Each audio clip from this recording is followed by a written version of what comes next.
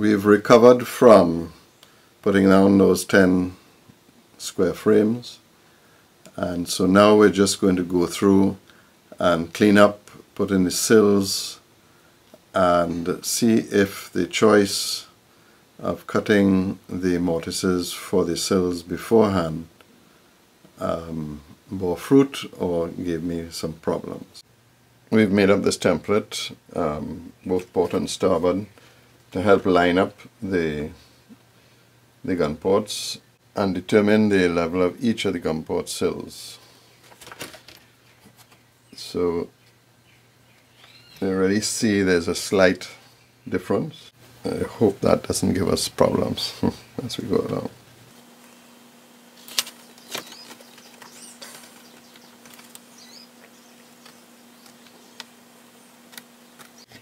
And just to remember that in my case this uh, template gives us the top line so we have to take five inches down from that line.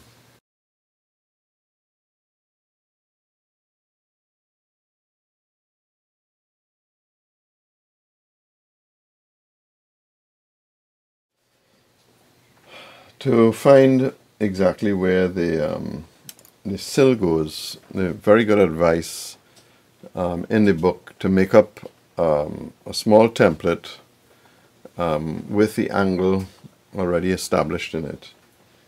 And as you sand the frames to take the sills down, you simply place this little template onto the two frames that you're sanding and it'll give you a very good idea a of the levelness of the the sill and um, of how it's going to fit into the the mortise that you're going to cut.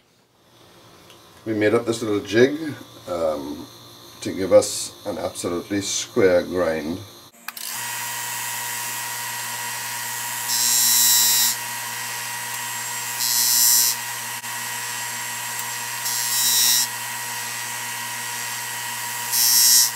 It's a perfect um, square grind on either side. And then we come and we fit it in and a small amount to take off again. So we keep going back and forward until we get it right, taking off the smallest amount each time.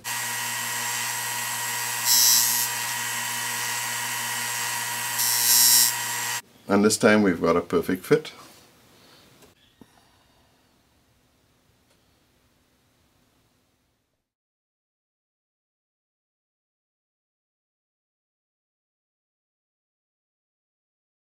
And this is what it looks like when it's all done.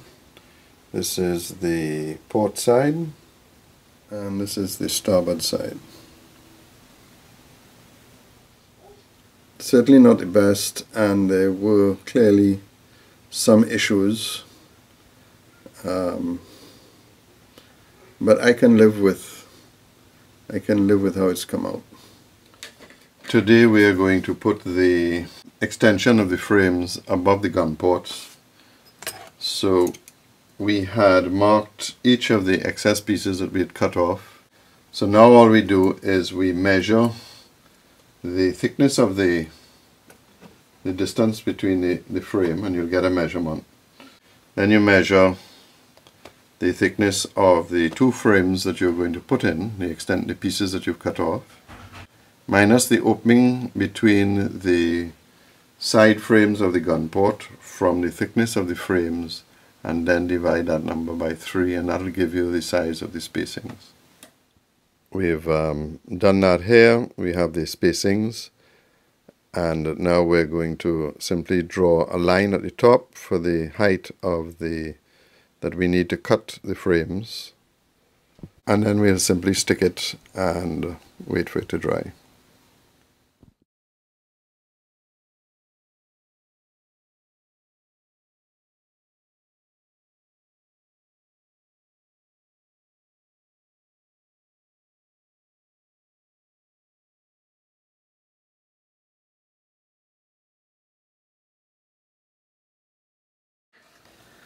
I am not going to show you the internal and external sanding because we've did this already. Um, I will say that um, I didn't use a respirator and I've had to take a few days off um, as the dust got in my nostrils and I had a terrible sinus attack. I'm not sure how I'm going to deal with that going forward but quite clearly the system that I used to do it outdoors in the wind didn't work very well and um, I do think we have to be very careful. I'm not pinning it yet as suggested in the book. There are still two frames that I may take out at a later point in time. So I think I'm going to go at least 10 more frames in on either side. Um, because I'm not 100% sure what the minimum thickness of the frames are to be. And I suspect they need to come down quite a bit more in terms of the finishing, in which case it's not necessary to take out the two frames. Um, they're just not lining up perfectly at the top here. Um, and so a simple solution is to simply take them out.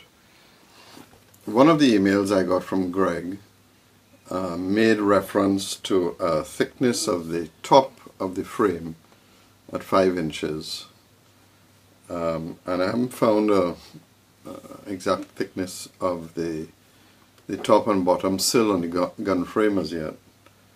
Um, so I think what I'll do is I'll write Greg and just ask and that will in fact lead me to make the decision about whether I should take the frame out or whether in fact if I can sand it down and get it to the correct thickness uh, for the, the finish of the frame.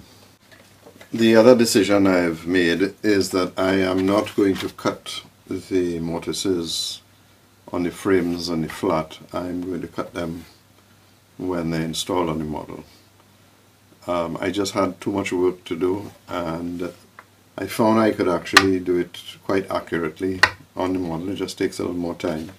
And once you have a template like this, um, it's just so much easier and you're absolutely guaranteed to get it correct um, and get the sweeper port lining up with the silk port. So that's the other takeaway that I've got from here is the frames will go up and the gun ports will be put in after.